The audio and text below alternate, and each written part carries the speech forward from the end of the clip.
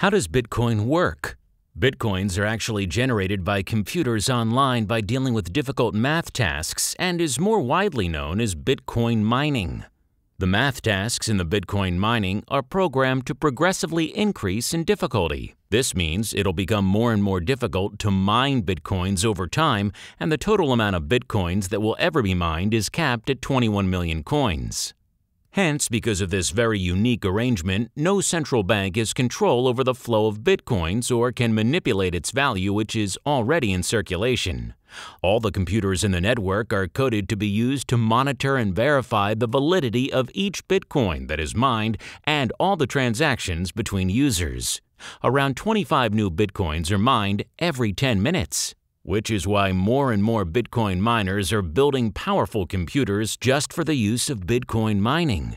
Bitcoins can be bought, sold, or traded with real money in a lot of online exchanges.